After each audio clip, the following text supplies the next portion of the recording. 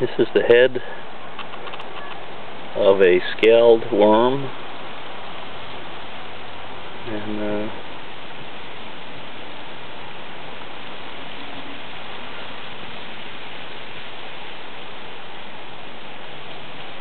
sunlight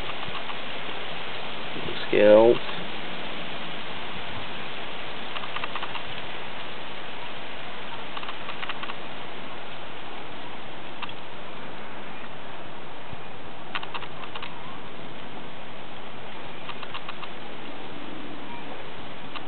That's the setae on the side. That's its proboscis, which it everted when it died, I think. Interesting, it has a little finger-like projections on the bottom.